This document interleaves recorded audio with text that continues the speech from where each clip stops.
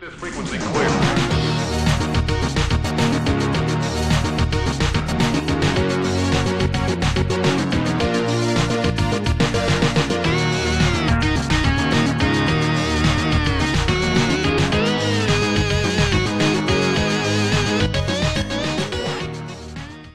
Okay, so I've been watching a lot of lazy game reviews lately. It inspired me to take a crack at restoring this beast. Uh, it's been sitting in my closet for a while. Picked it up at a local Goodwill.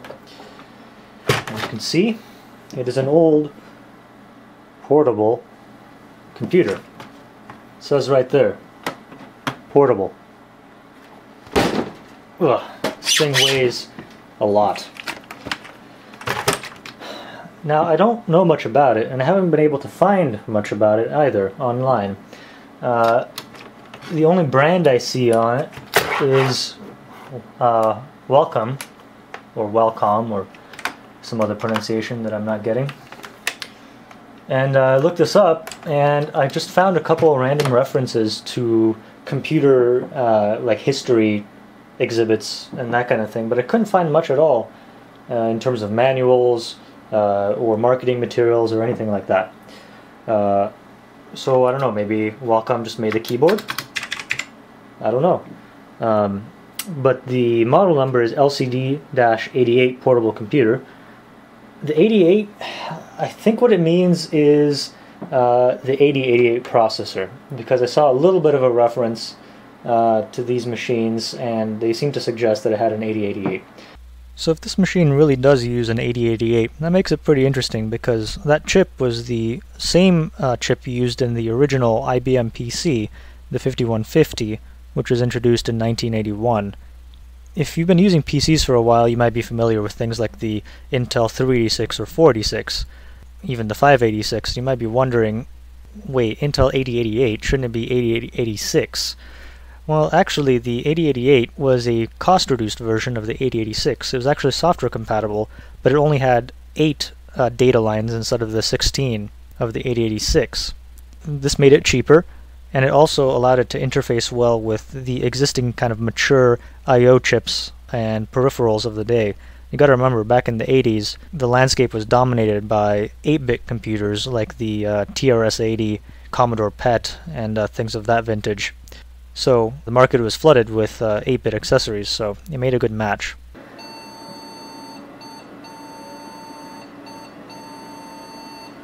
So it makes angry noises, and nothing shows up on the screen. It does light up, which is nice. Just the contrast, nothing happens. I don't even know what this does. But, I've actually hooked this up to an external display, and it does seem to work. You can see it accessing the hard disk here. That's a cool wind down noise. So over here, uh, we've got the uh, old style keyboard connector, a VGA out, which I've already tried. Does seem to work. Parallel port, and looks like a game port. Uh, not much around the back. There's an FCC ID and something something microsystems. Okay, so I couldn't find anything on that FCC ID. Uh, on the right side, we've got the uh, 5 inch floppy drive, 5 and a quarter, and a big ol' Seagate hard disk. Screws are a bit rusty which is not a good sign. Uh oh. Okay.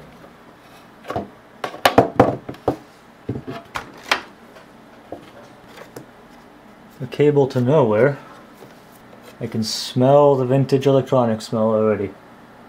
I can see a bunch of socketed uh, modules. That's most likely either uh, RAM or cache.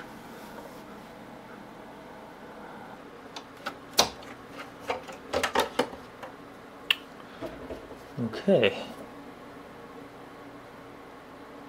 So copyright 1987, 19, 1988, uh, copyright 1991. So about that time.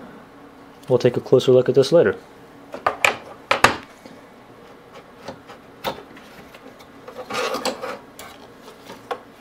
Okay.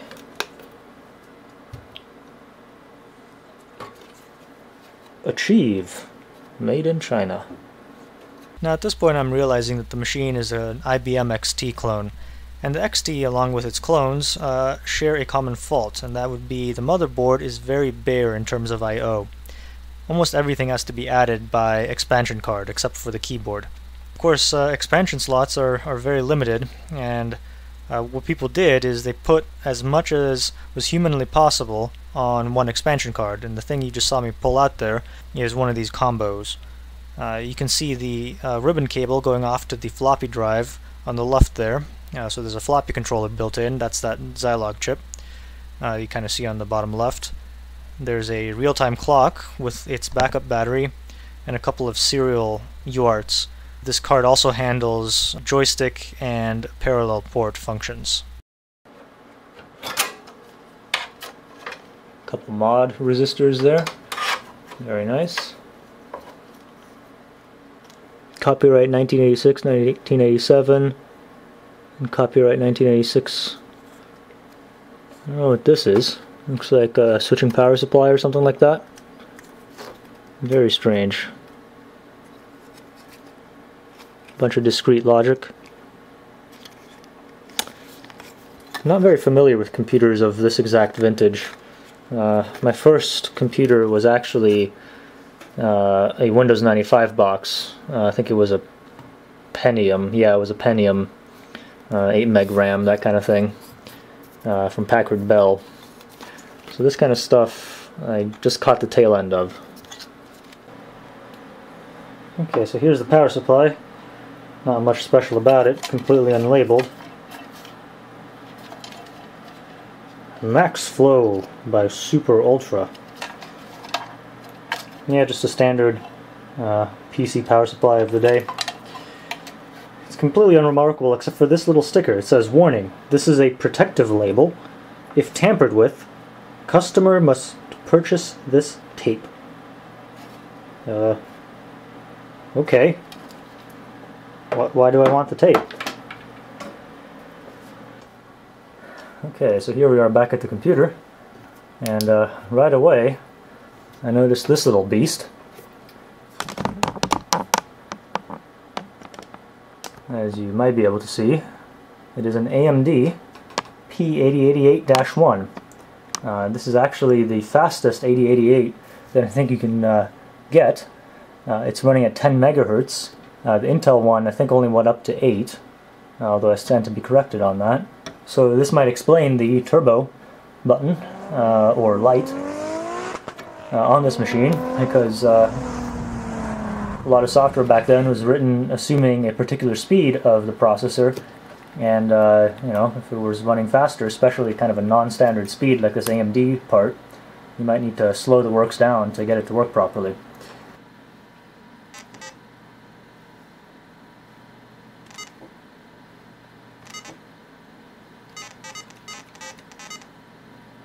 Uh, the 8087 coprocessor is not populated, but uh, I might find one later. Uh, this is supported by this 10 megahertz turbo board, apparently. Uh, we'll take a closer look at the actual main board uh, once I get it out.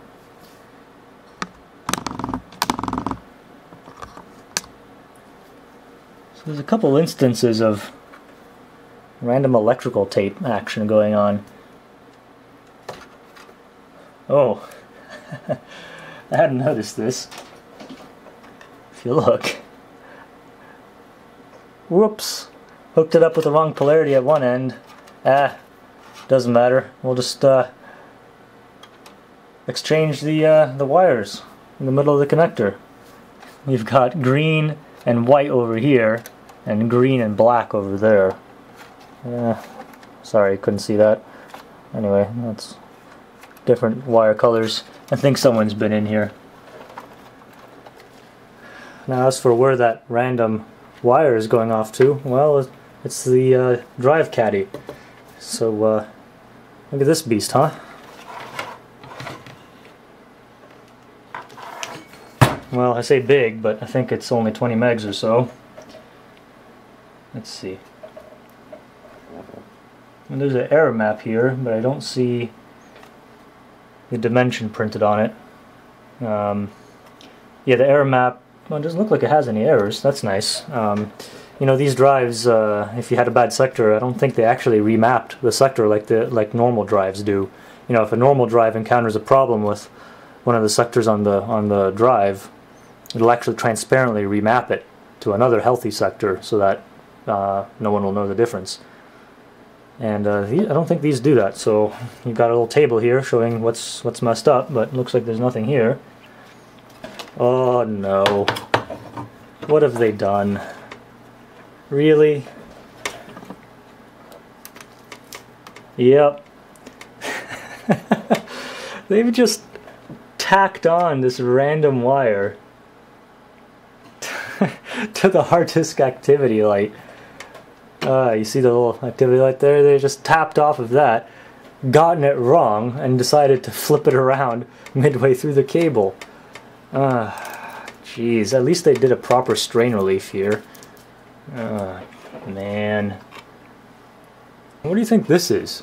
It's a little SIP, like resistor network or something, but it's socketed. Did you like take that out and replace it? I'm gonna try to free this drive from its wire-based prism in a minute. Uh, this is the floppy. I think it's a pretty standard uh, five and a quarter inch made by Copal. Probably still works. You know, at least the soldering is reasonably done. Doesn't look bad. You're free! Get the feeling that this machine didn't originally come with that motherboard. It might just be me. But anyway, okay, you see this wire over here? Okay, look at its colors, white and black. Now if I yank on it, that wire over there moves. That one's white and blue. What manner of horrors await us underneath here? I'm not entirely surprised that the LCD isn't working. Ugh, jeez. I'm ragging on this, but these kinds of hacks you know, they're great. You know, people modifying technology to suit their needs. That's something that people need to do more of, not less. So, lest you think I'm actually mocking these folks, eh, you should look inside my computer. I do it all the time. It's just kind of funny, though. Because you gotta believe that they, like, assembled all this thing without testing. Oh, yeah, we'll just, you know, stick a stick an LED wire in there and it'll, it'll all work out. Power it up and the light doesn't work. Ah, well, we could take this entire thing apart, or, you know, we'll just bodge the wires together. It'll be fine. So, this ugly beast deserves a bit of a closer look, doesn't it? So yeah, this is a 20 megabyte drive. Uh, Again, here's a part number, ST225. It uh, spins at uh, 3600 RPM, can sustain a data rate of 5 megabits per second. That's not megabytes, uh, so less than 1 megabyte per second. Uh, but I guess if you've got 20 megabytes capacity, that's not so bad. Uh, it has a stepper-based seek mechanism, uh, which gives it a stunning 65 millisecond seek time. Uh, for comparison, modern drives don't actually have a stepper drive.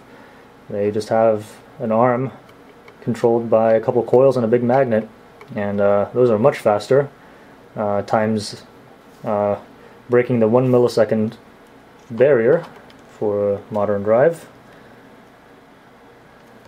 But, you know, I guess uh, back in the day this was pretty good. Now uh, I'm starting to get a little worried. And that's because I don't see any obvious video cabling going to the LCD at this point. Okay, so here's uh, where'd I put it? Somewhere there's a graphics card. Here it is. There's a graphics card.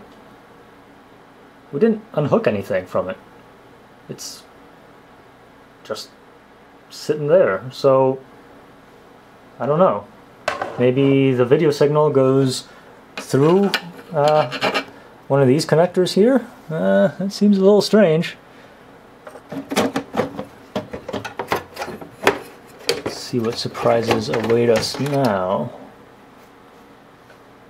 Okay. Well, here's the board. Anything on the back? Classic uh,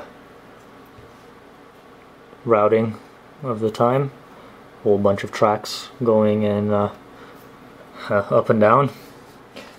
And then across on the other side. It's just how they did it back then. Yep, as expected. Nice little hack. Nice.